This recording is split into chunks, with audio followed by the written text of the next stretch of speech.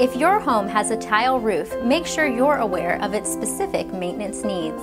Today we're in San Ramon with Diamond Certified expert contributor Tom Rhoads of Roof-Life Construction to learn more. Today we're going to talk about roof tile maintenance. It is important to maintain your tile roof system and your drainage system annually. Let's talk about a few things you can do to keep your roof system functioning for years to come.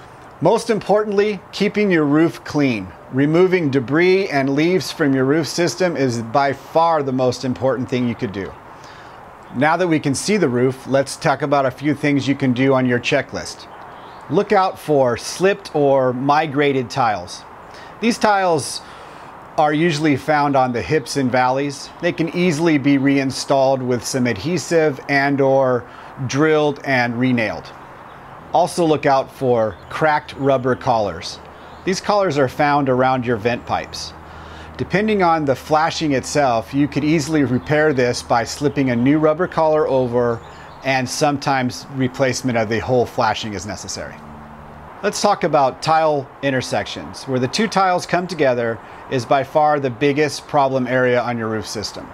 On your trim tiles, meaning the ridge tiles or rake tiles, a lot of times the sealant has been compromised by the sun. It cracks and it breaks away and or the membrane that they used on the top would be burned away by the sun as well. Installation of a lead flashing in place of those is a permanent fix. Now let's talk about your valley intersections. The biggest problem. The debris buildup under your valley is the most common source of a leak.